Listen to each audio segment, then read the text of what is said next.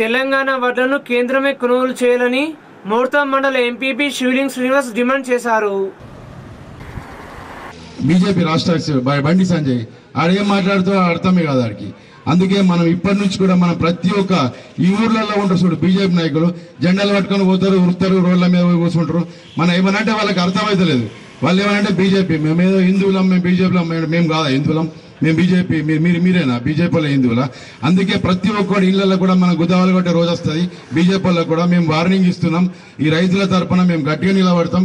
ఈ బీజేపీ గుదావల కొట్టుకు రోజు వస్తుంది. తనిపిస్తామని చెప్పేసి ఇక్కడ ఈ మా మండల మా పార్టీ తరపున మా రైతుల తరపున ఖచ్చితంగా చెప్తా ఉన్నాం.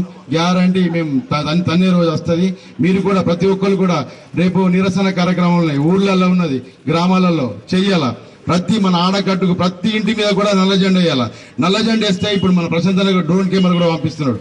ఆ కెమెరా ద్వారా మొత్తం ప్రతి ఇంటి మీద మనం ఉండాలి? ఇప్పుడు నా గల్లీ ఉన్నది నా గల్లీలో. ఇప్పుడు జయశేఖర్ రెడ్డి ఉన్నది. జయశేఖర్ రెడ్డి ఇంతమందిని తోలుకొచ్చాడు ప్రతి ఒక్క ఇంటి మీద కూడా ఆ జెండా ఆయన కట్టిపియాల ఆయన కట్టిపిస్తేనే అది మనం రైతుల వ్యతిరేకత ఉన్నది. ఈ ప్రభుత్వాన్ని వీళ్ళ కేంద్ర ప్రభుత్వానికి వ్యతిరేకంగా రైతులు ఉన్నారు. ఈ తెలంగాణలో కొనాలా అని చెప్పేసి వాళ్ళకి తెలుస్తుంది.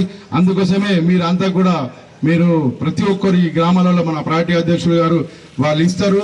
వాళ్ళు ఇచ్చిన ప్రకారం ప్రతి గ్రామంలో ప్రతి ఇంటి మీద నా నా పార్టీ నా కార్యకర్త ఇంటి మీద కాదు ప్రతి ఒక్క రైతు ఇంటి మీద ఆ జెండా ఉండాలి. ఆ జెండా ఉంటేనే వాళ్ళకి నీరస కార్యక్రమాలు తెస్తాయి.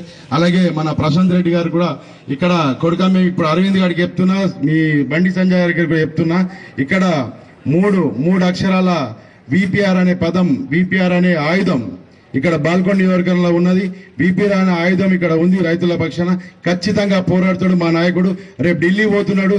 ఢిల్లీ పోయి ఖచ్చితంగా కొనిపిస్తాడని చెప్పేసి నేను ఈ బాల్కొండ నియోజకవర్గం నా మండల తరపున నా రైతుల తరపున ప్రజల తరపున వారికి పూర్తిగా మేము ఇక్కడ నిరసన కార్యక్రమంలో పాల్గొంటాం.